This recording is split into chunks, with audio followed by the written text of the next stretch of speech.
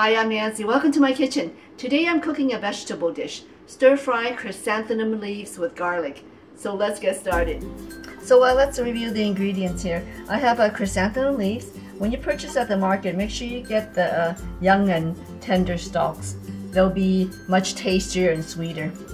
This is uh, crushed garlic, seasoning salt, oyster sauce, and Shaoxing wine. Okay, I have my um, pan set at a medium high. Let's add oil. This is going to cook up very fast. Add a generous amount of oil. Add the garlic.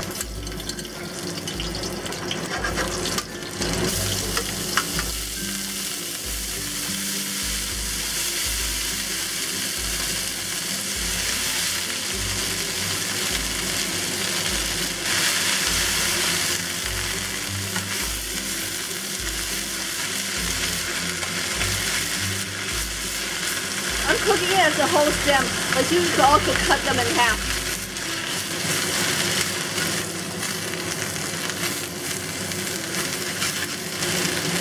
Add the seasoning uh, salt.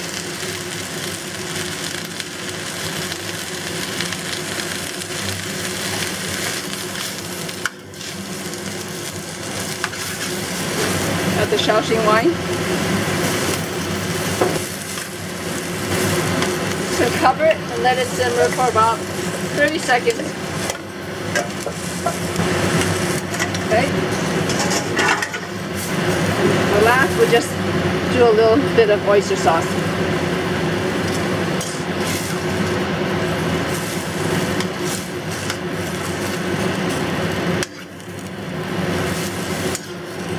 Okay, this is done. Let's serve this up. Okay, let's plate this.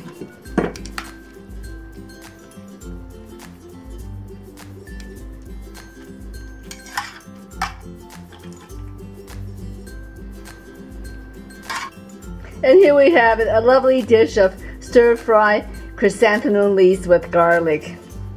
It has a mild, grassy, herbaceous taste, and the stems are sweet and tender, with a slight uh, crunchy texture. Give it a try. I think you'll like it. Enjoy.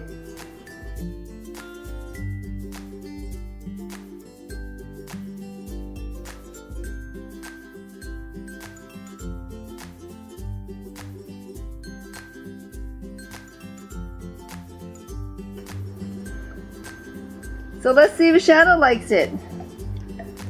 Shadow likes all sorts of vegetables. She's a good girl. Thank you for watching everyone. See you next time. Eat well and be healthy.